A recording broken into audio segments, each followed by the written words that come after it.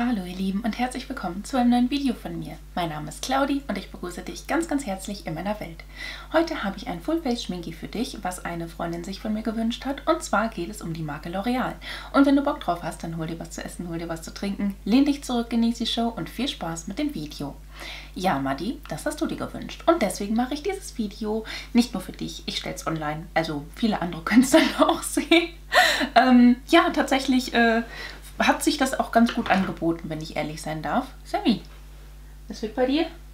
Ja, ähm, ja, er schüttelt sich, weil L'Oreal ist äh, nicht tierversuchsfrei. Ne? Das ist eine Marke, die etwas umstritten ist, sage ich jetzt einfach mal so. Aber ich habe das ein oder andere schon da gehabt. Manche Produkte habe ich mir dann auch noch äh, gekauft, zum Beispiel die L'Oreal X Elisar Lidschattenpalette ähm, und den Lippenstift dazu. Das ist ja diese Marke, die so Hochzeitsmoden herstellt. So, ich starte das Ganze einfach mal mit einem Primer, den ich relativ neu habe. Also den habe ich noch gar nicht verwendet. Das ist der Infallible Magic Essence Drops Brightening Primer Drops Primer. Ich habe natürlich meine ganz reguläre Tagespflege drauf.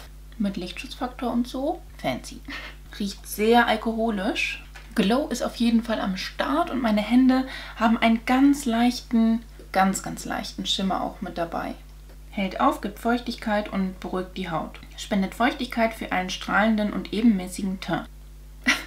Ist leicht klebrig, aber auch nicht zu klebrig. Die eskaliert im Hintergrund. Das ist die Age Perfect BB Cover Cream. Getönte, Feucht, getöntes Feuchtigkeitsserum, Hydrating Serum, Lichtschutzfaktor 50. Gut, wir werden niemals so viel davon verwenden, dass wir Lichtschutzfaktor 50 erreichen, aber besser haben als brauchen. Und das ist die Farbe 01 Light Ivory. Der Primer ist eigentlich ganz gut eingezogen. Bin äh, begeistert tatsächlich. Der kommt flüssiger aus der Tube, als ich dachte. Huch. Ne? Ich habe hier so einen abgeflachten Pinsel von Ebelin. Keine Ahnung, den hatte ich mir letztens mal geholt, weil der neu war und ich ihn witzig fand. BB Cream kann man sich natürlich auch ganz normal mit den Fingern auftragen, aber da muss ich nachher wieder Hände waschen und so ein Kram und nee. Wahnsinn. Also ich finde die BB Cream gerade extrem gut. Die gefällt mir sehr. Also dieser Glow ist der Wahnsinn in Tüten. Ähm, ich habe jetzt alles verwendet, was ich hier drauf hatte. Ich bin aber so ein Schwämmchen-Typ. Ne? Das heißt, ich arbeite das Ganze jetzt nochmal mit so einem Real Techniques Schwämmchen ein. Den habe ich angefeuchtet, ausgedrückt. Der ist jetzt noch so ein bisschen nebelfeucht. Und ja, damit gehe ich dann jetzt nochmal komplett über mein Gesicht arbeite damit das Produkt jetzt nochmal ein bisschen besser ein und nehme überschüssiges Produkt ab, damit das Ganze nicht allzu cakey wird. Die sitzt richtig gut auf dem Gesicht. Ne? Die Deckkraft ist mittel. Sie hat meine Rötung kaschiert. Sie hat schön gemacht. Sie gefällt mir.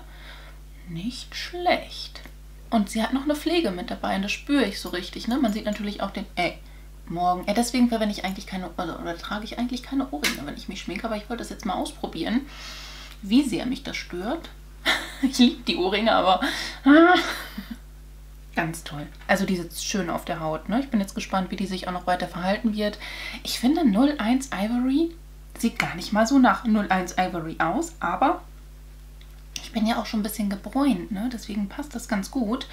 Finde ich eigentlich ganz schön. Schöne Sache. Dann nehme ich mir den Perfect, nein, doch, den Perfect Match Core Perfect True Match Concealer. Das ist dieser hier. Den habe ich schon mehrfach verwendet, den mag ich ganz gerne habe ich in der Farbe 1N Ivory. Den trage ich mir punktuell hier im Innenwinkel auf. Dann hier so einen kleinen Strich unten drunter, weil da habe ich so leichte Verfärbung. Und nach außen hin. Und ich gebe mir den auch schon mal hier unten hin. Da kann ich mir jetzt auch wieder den gleichen Pinsel nehmen, den ich ja zum Foundation einarbeiten genommen habe, um den Concealer einzuarbeiten. Der Concealer hat wirklich eine angenehme Deckkraft und gibt halt auch so Leuchten, Gedönsen und es sieht alles so frisch aus, ne? Jetzt nehme ich auch wieder das Schwämmchen und arbeite das noch weiter ein. Natürlich auch auf meinen Augenlidern, weil das ist jetzt auch mein Lidschattenprimer sehr, sehr empfehlenswert. Ich bin jetzt auch gleich mal gespannt, wie das so mit dem Creasing und so weiter abläuft, aber erfahrungsgemäß creased der nicht wirklich. Ich habe aber auch noch ein bisschen was an Glow. Vielleicht trage ich den nachher nochmal über dem Puder und so weiter auf, aber den verwende ich jetzt schon mal. Das ist von L'Oreal Glow Cherie, natürliches Glow Fluid äh, in der Farbe Light Glow. Kann man tatsächlich auch als äh, Primer verwenden oder was weiß ich, das kannst du super krass eskalativ aufbauen und so. Das trage ich mir hier auf. Gehe ich jetzt auch nochmal mit dem Pinsel drüber, mit dem ich Concealer und Foundation aufgetragen habe, um das noch ein bisschen besser einzuarbeiten. Ihr seht, ich habe einen Glow. Schön. Das lässt sich schon mal sehen, ne? Ja, vielleicht nicht allzu weit wegstellen. Ich brauche es ja vielleicht gleich noch. Ähm, ich habe kein Spray, Fixing Spray, Gesichtsspray oder sonst was von L'Oreal. Deswegen nehme ich hier das Gesichtswasser von Lavira. Oh, gebe mir noch die extra Portion Feuchtigkeit und Frische mit dabei.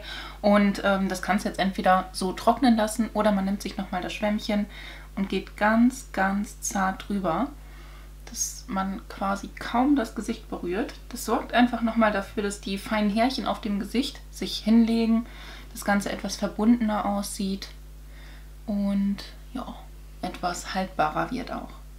Man kann zum Beispiel auch sein, Feucht, äh, sein Feuchtchen, genau, sein Schwämmchen nicht mit ähm, normalem Wasser anfeuchten, sondern eben auch mit so einem Gesichtswasser oder so. Dann hast du schon direkt im Schwämmchen drin. Als Puder habe ich das True Match Super Blendable Perfecting Powder in der Farbe 2R2C Vanille Rosé.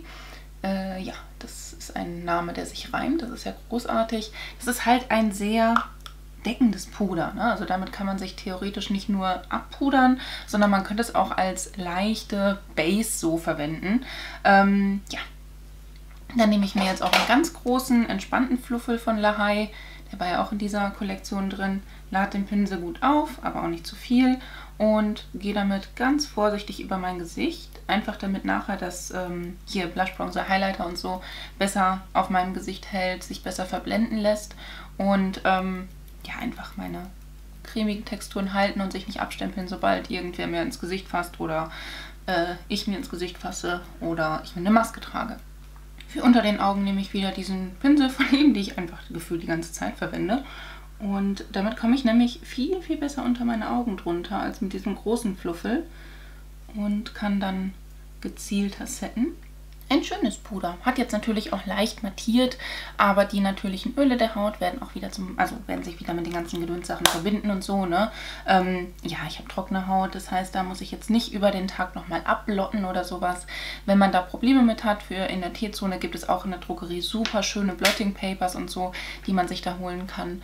Ja, aber ich mag Glow und so gefällt mir das. Es fühlt sich, mh, hm, ja, ganz gut gesettet an. Also ich habe Setting Puder, Puder, das wollte ich gerade sagen, Setting-Puder, ähm, die doch etwas mehr Halt geben tatsächlich.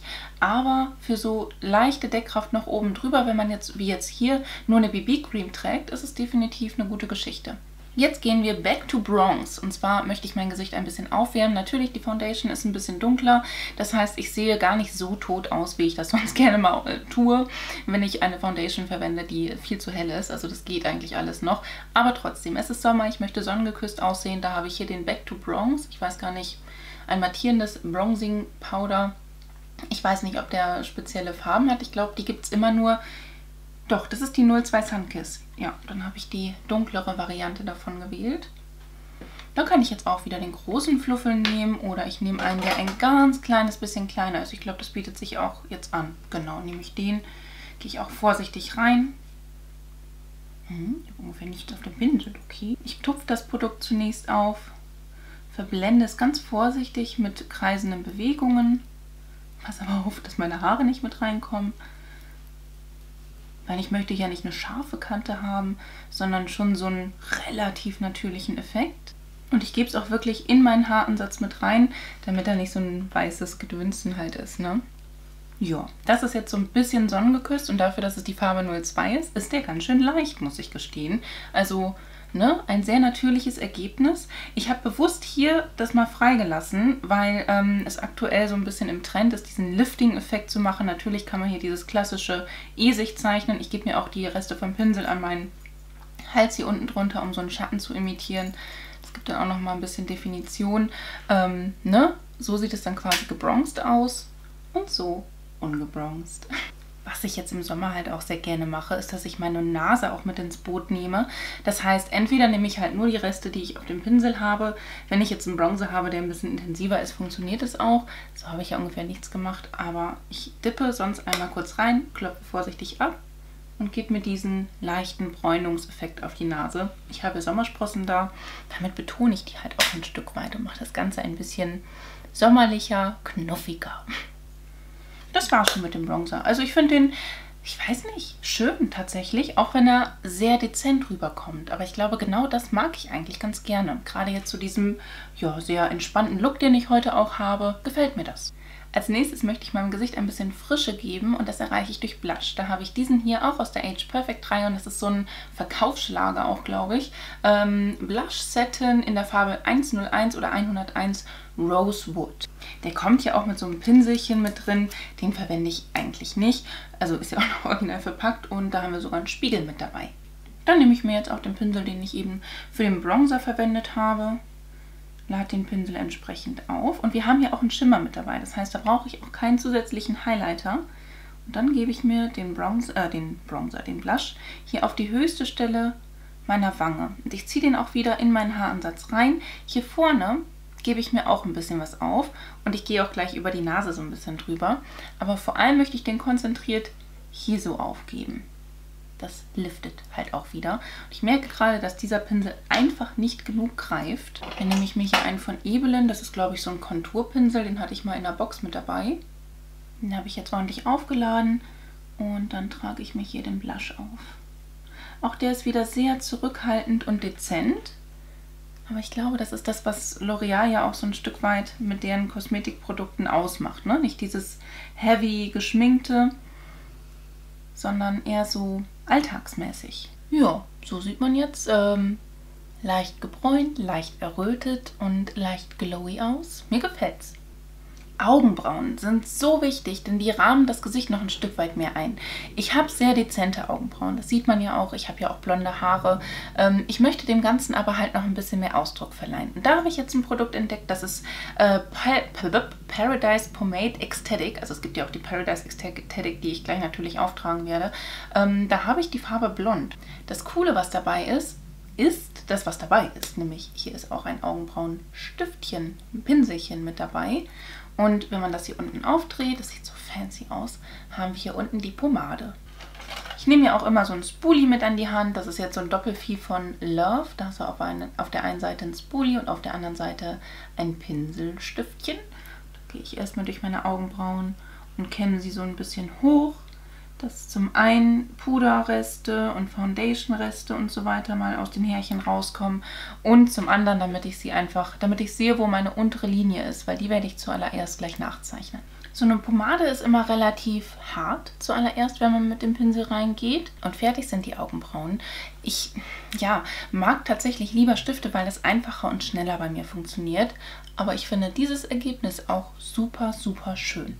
Jetzt kommen wir zur Lidschattenpalette und also die hat wirklich super schönes Packaging. Das ist wie so Stoff hier vorne drauf. Fühlt sich total klasse an. Wie so Kunstleder, ne? So schaut sie von innen aus. Sie hat einen riesengroßen Spiegel in neuen Farben und ich glaube nur zwei davon sind matt. Hier haben wir jetzt einmal die Swatches. Äh, tatsächlich ist dieser Ton matt, dieser Ton matt und dieser Ton ist quasi matt. Ja, schaut so aus. Ich starte mit dem hellsten matten Ton aus der Palette und der befindet sich hier oben in der Mitte. Dafür verwende ich einen Blendepinsel von Ebelin. Die Farben sind echt gut pigmentiert, halt auch staubig, aber dann klopft man die halt vorher ab. Den platziere ich mir hier in der Lidfalte bzw. ein bisschen höher als meine reguläre hm, natürliche Lidfalte, weil ähm, ja, ich habe ein leichtes Schlupflid und ich möchte trotzdem, dass man den Look nachher noch sieht. Und auch das war mal wieder ein Reim hier, Leute. Was ist heute hier los? Das ist ja der Wahnsinn. Oh, die riecht die Palette. Parfümiert, aber ich mag den Duft nicht so gerne.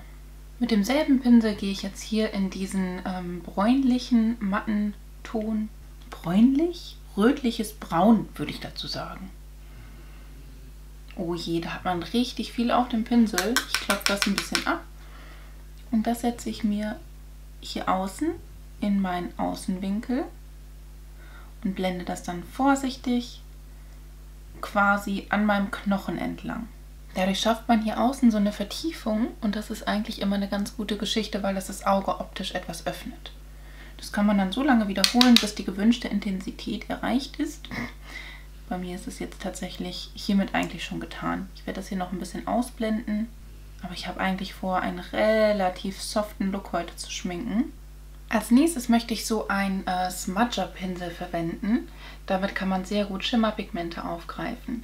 Der ist minimal fluffig, also nicht so ein ganz dünner, flacher Lidschattenpinsel, sondern ne, ein ganz kleines bisschen Fluffigkeit hat er mit dabei.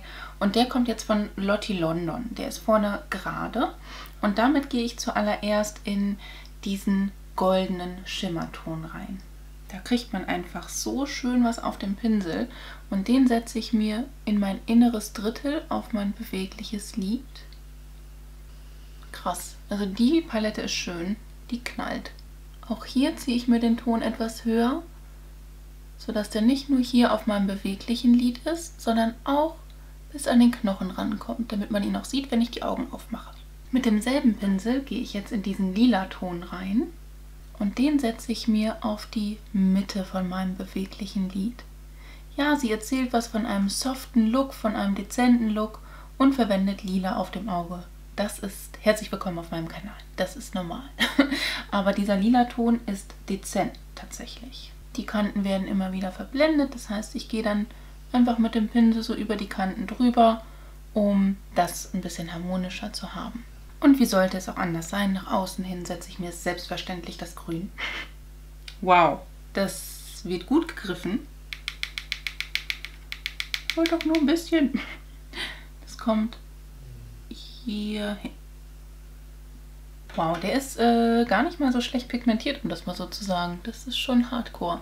Aber ein, eine, also das ist eine schöne Kombi. Lässt sich nicht anders sagen. Mir gefällt das. Wenn man dann so wie hier Fallout hat, heißt, dass der Ton runtergekrümelt ist, nimmt man einfach irgendeinen Pinsel, zum Beispiel so einen Highlighter-Pinsel und versucht das wegzuwischen. Das Problem ist, dass ich richtig krass Glitzer-Fallout habe. Oh mein Gott. Ich versuche das jetzt mal ein bisschen zu retten. Und zwar nehme ich zum einen ein Spoolie. Das war ja der, mit dem ich eben auch schon die Augenbrauenpomade ausgebürstet hat. Normalerweise entfernt der nämlich echt schön auch Glitzer von der Haut. Aber so viel ist natürlich Hardcore, ne? Das kriegt er auch nicht gepackt.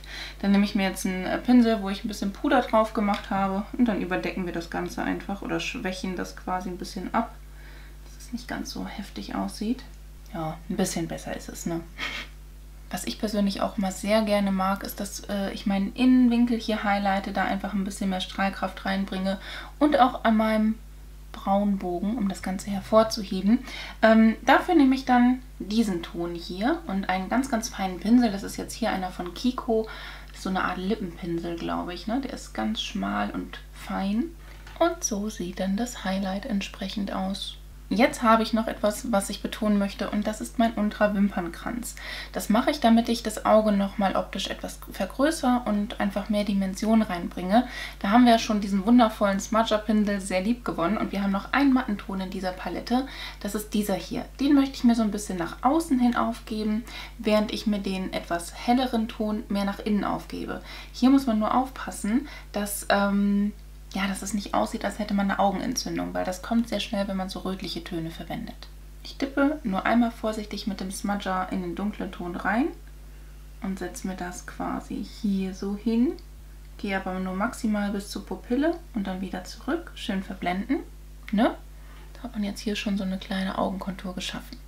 Und dann gehe ich in dieses rötliche Braun auch noch einmal kurz, oh, ein bisschen mehr, reindippen. Bisschen abklopfen, damit ich keinen Fallout noch mehr kriege. Den setze ich mir dann hier vorne hin und blende den dann auch in den dunklen mit rein.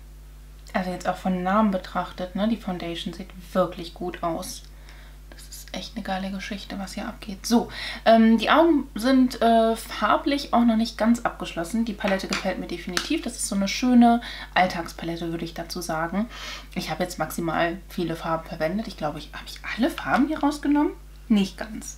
Die beiden habe ich nicht verwendet. Ne? Das dunkle Petrol und das äh, helle Beige, Rosé.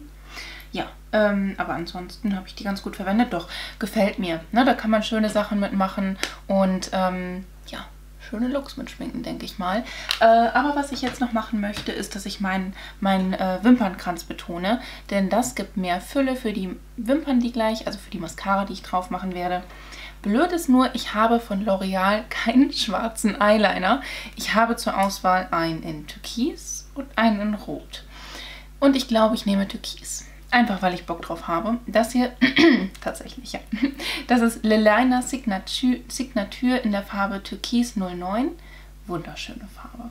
Hat auch einen kleinen Schimmer mit dabei und den setze ich mir halt von oben direkt auf meinen Wimpernkranz. Wie ein Eyeliner halt. Ich habe sogar einen Wing gemacht. Muss man nicht, ne?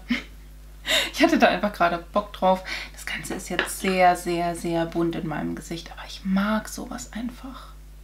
Dann schaffen wir mal Chancengleichheit für die beiden Mascaren, die gleich kommen. Und zwar biege ich mir die Wimpern mit meiner Wimpernzange. Es treten gegeneinander an von L'Oreal die Volume Million Lashes in Extra Black und die Paradise Ecstatic in Waterproof. Die Volume Million Lashes hat ein echt krasses, fettes, flexibles Gummibürstchen und die Paradise Ecstatic in Waterproof hat ein erdnussförmiges Bürstchen. Ein Erdnussförmchen. Genau. Ohne Mascara. Erste Schicht. Zweite Schicht. Dritte Schicht. Also beide Mascaren machen ein schönes Ergebnis. Also jetzt auch, ne, ihr seht es ja. Ähm, ich finde aber die Paradise Ecstatic um Längen besser. Und zwar liegt das daran, dass die Volume Million Lashes Mascara mir persönlich die Wimpern sogar zu sehr verklebt und irgendwie auch so hackelig macht. Seht ihr das? Ne? Und die Paradise Ecstatic ist zwar nicht so extrem Wawawum-mäßig, aber sie definiert die Wimpern mehr. Und das finde ich irgendwie schöner können wir kurz darüber reden, wie süß das ist. Ich habe ihn in den Schlaf geredet und er schnarcht. So, dann widmen wir uns jetzt mal den Lippen. Da habe ich einen Lip Liner. Ähm, das ist der Color Reach Lip Liner in der Farbe 114 Confidential. Ist es hellkorall? Glaube schon. Sieht merkwürdig aus. Ist halt zum Anspitzen und es ist viereckig, deswegen ist es wahrscheinlich merkwürdig. Wow, die Farbe leuchtet.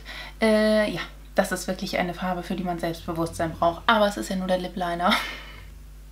Der ist ziemlich hart übrigens auch. Ähm, ja, aber es ließ sich halt ganz okay auftragen. Ich denke, das ist halt einfach einer, der dir nicht so schnell abbrechen wird, wenn du den aufträgst. Das ist schon mal positiv. Aber ja, es ist, man muss schon ein bisschen mehr drücken ne? und so über die Lippen drüber fahren. Aber das würde zum Look passen. Ich habe aber auch aus der Elisab Collection mir den ähm, Musk Impact geholt.